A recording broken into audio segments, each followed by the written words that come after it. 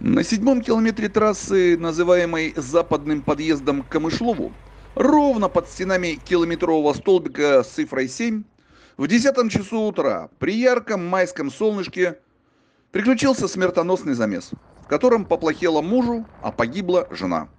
Сухая фабула ДТП такова. Четырка на узкой дороге, один ряд туда, другой сюда, где даже обгон запрещен, выкатилась на чужую и лоб в лоб уработалась в первый встречный Hyundai Solaris с двумя живыми людьми на борту.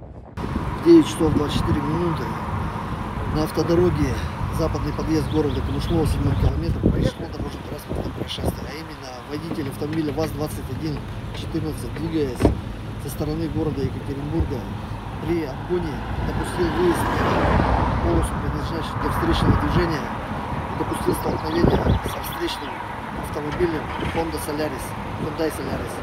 В результате ДТП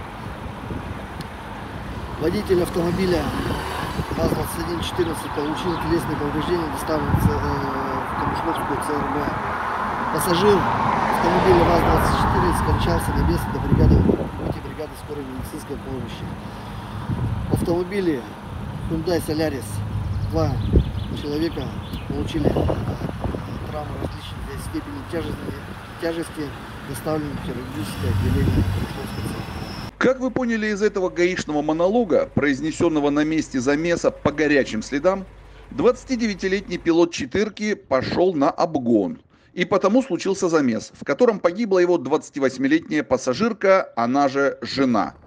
Пилот сам себя по факту овдовил. Но он остался жив и с версией обгона категорически не согласился.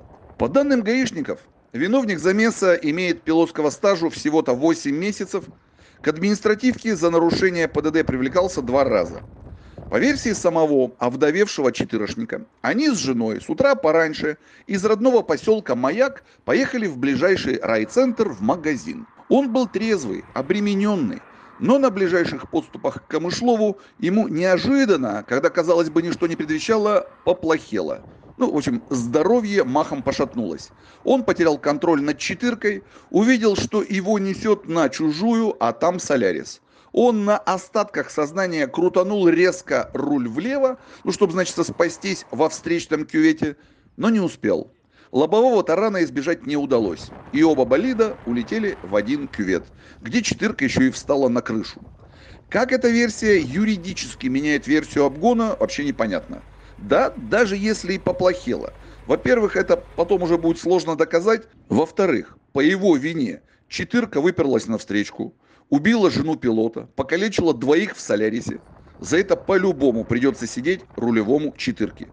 И сейчас он, как никто, должен молиться за здоровье 42-летнего пилота Соляриса, жителя села Порошина, у которого стаж руления 6 лет и абсолютный ноль в графе НПДД. Он был трезвый, но при всем при этом почему-то не был обременен. И при лобовом ударе, возможно, очень сильно покалечился. О тяжести его увечий не сообщается, но факт, что за одного автоубитого по 264 статье УК сидеть значительно меньше, чем за двоих. Уважаемые водители, при управлении транспортным средством соблюдайте правила дорожного движения при обгоне, а также пользуйтесь